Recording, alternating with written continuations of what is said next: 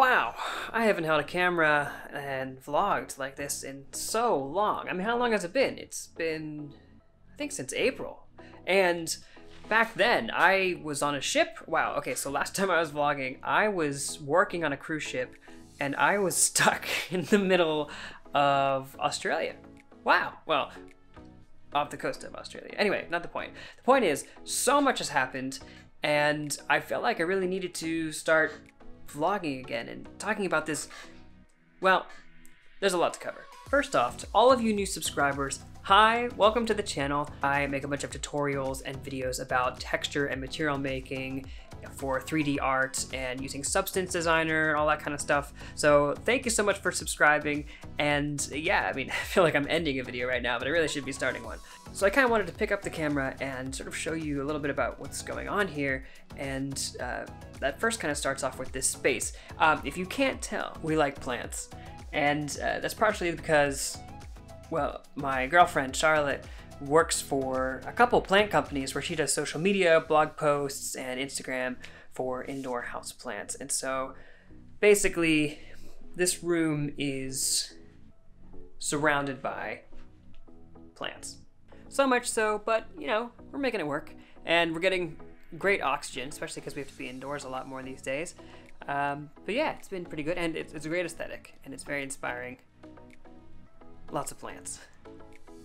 We've especially got plants in the workplace, and I did want to do a quick little shot of my desk, but I'm going to hold off on showing too much of the desk because I just ordered some things to improve the workspace and improve my workflow and everything, which I'm going to show later. So I'm going to do another video of my workspace and everything that I use later on, but yeah, like I said, plants. I also wanted to talk a little bit about who I am. So I'm Jeremy and I'm a freelance texture and material artist where I specialize in procedural texture generation, mainly with Substance Designer, but I also use Substance Painter and, and Photoshop and many other tools. I also did a lot of um, 3D uh, generalist training in Cinema 4D and uh, a lot of other programs. And so here we are, making videos, making content, so that you guys can learn more and we can all learn more together, all that jazz.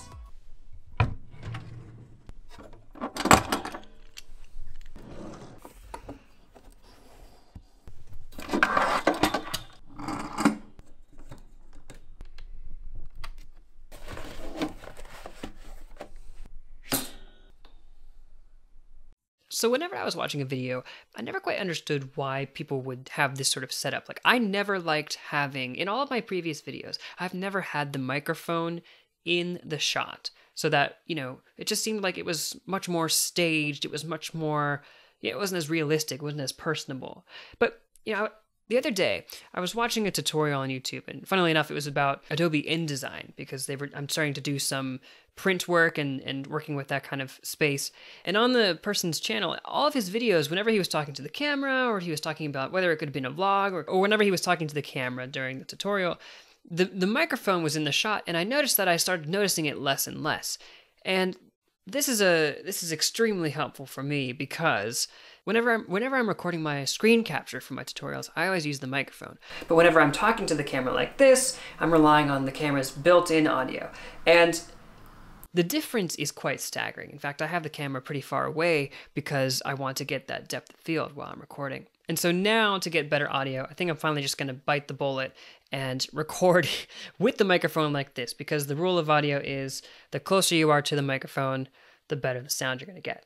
All of this to say, I want to tell you about a major issue I was having with Substance Designer, the Substance plugin, and integrating it into another program like Cinema 4D. So I'm working on this project for a client, and I noticed this snag that I was having when publishing the designer graph to an SBSAR file to use in other programs. One of the amazing things about Substance Designer is that you can create these tools, these published graphs that allow you to have uh, parameters that you can adjust and create a dynamic texture instead of just a static bunch of maps, which again could be useful for other reasons. But for me, this particular project required something that you could change and adjust.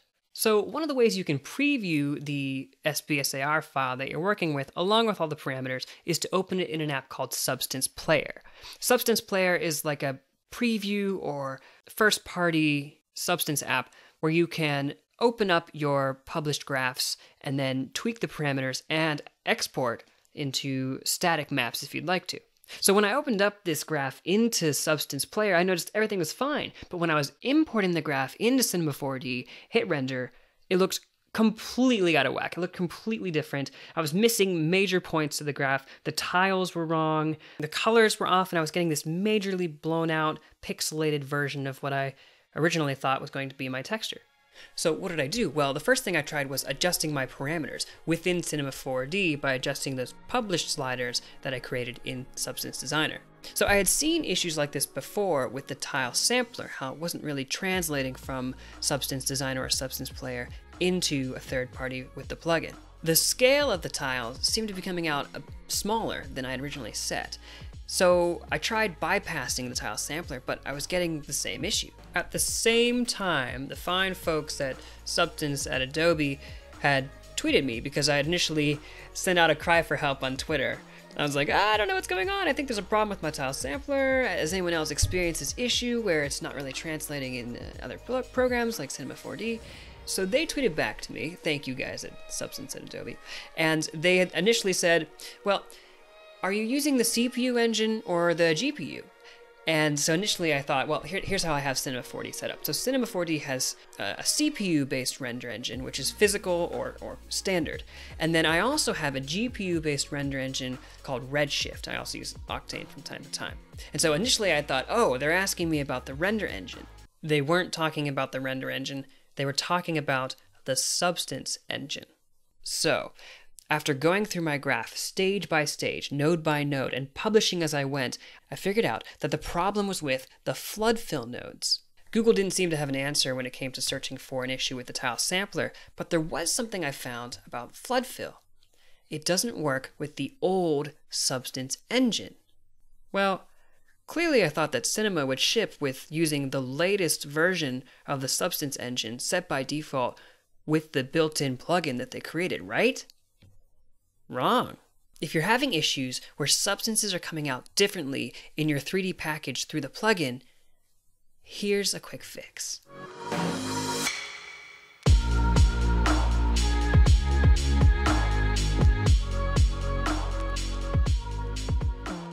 Okay, so here we are in Substance Player. This is the first party substance preview app I was telling you about. And here is the material that I'm working on. This is one that was giving me some trouble. And uh, you can see it's this fitted stone wall texture. It has a bunch of parameters here. You can see I can increase the space between the rocks and I can also change the scale of the rocks um, as well as uh, randomly move them around and change how many rocks there are on the X and the Y, all kinds of stuff like this.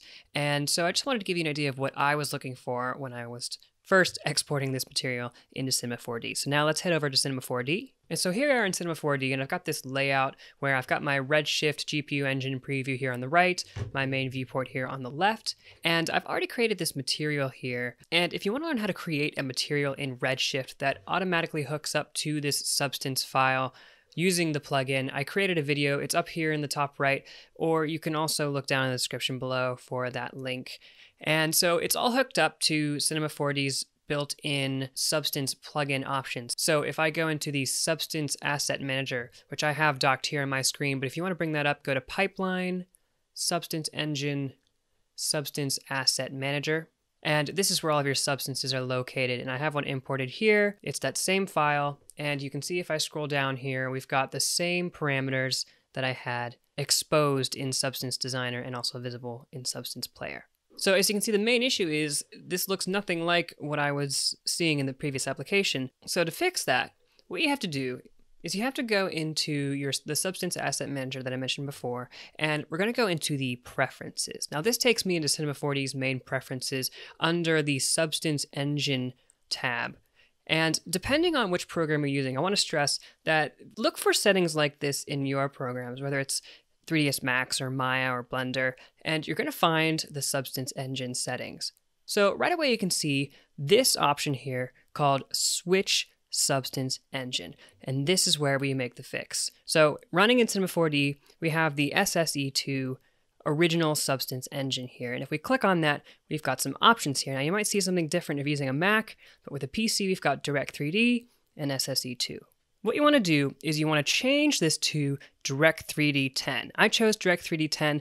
It doesn't seem to be working in Direct 3D 11 and I'm not sure why, so I'm going to stick with what works, Direct 3D 10. Now it says engine change pending, so what I'm going to have to do is restart Cinema 4D. Okay, so I've restarted Cinema 4D and now what I'm going to do is right click on my substance here in the Substance Asset Manager and I'm to hit Reload Substances you see that now that it's finished processing these textures, we've gotten our substance here working in Redshift. So what I could do is I can go into my object tag, bring up the displacement here, something like 5 by 5 here, and then I can rotate around a little bit.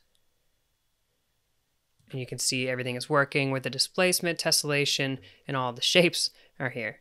So it seems that the flood fill nodes are not compatible with the original Substance engine, hence why it wasn't processing them correctly and the results coming out all crazy. I hope that this fixes any issues that you're having. I know this one made my head spin for quite a while. Well, there you have it, everyone. A major issue that I was having, and I'm so happy I figured it out. Also, with that GPU engine now being in place, Substance did say that you're going to see a bump in speed improvements as well. So that performance is going to increase, and all your nodes are going to work. So I really hope that uh, that helps you out. If you want to see more videos like these, or some more in-depth tutorials where I go from beginning to end, how to create many different kinds of textures, be sure to hit that like button and hit subscribe, as well as the bell to be notified when I post new videos. And we have a lot of awesome training coming up, including some really cool premium tutorials that are going to go super in depth. And I can't wait to show you my first premium training series. Anyway, that's all coming up soon. And so uh, thank you all so much for watching. I'll see you in the next one.